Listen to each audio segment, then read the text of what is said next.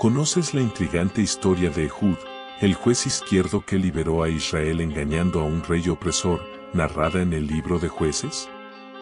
Ehud es una figura interesante en el Antiguo Testamento, particularmente porque era zurdo, un detalle que se menciona específicamente en el texto y que juega un papel crucial en su historia.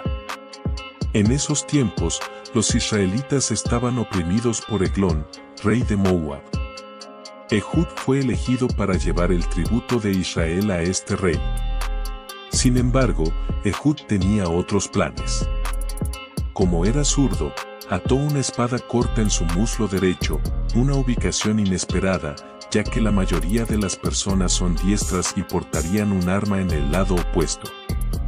Al entrar al palacio de Eglón, los guardias revisaron el lado izquierdo de Ehud en busca de armas, pero no encontraron nada. Después de presentar el tributo, Ehud pidió un momento privado con Eglón, alegando tener un mensaje secreto de Dios.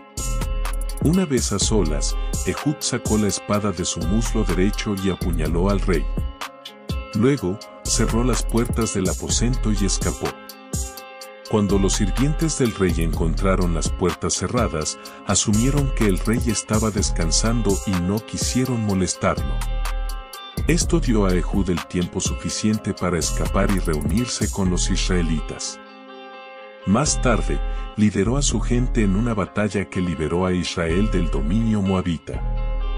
La historia de Ehud es un ejemplo de cómo, a veces, las características o habilidades que nos hacen únicos pueden ser exactamente lo que se necesita para cumplir un propósito mayor.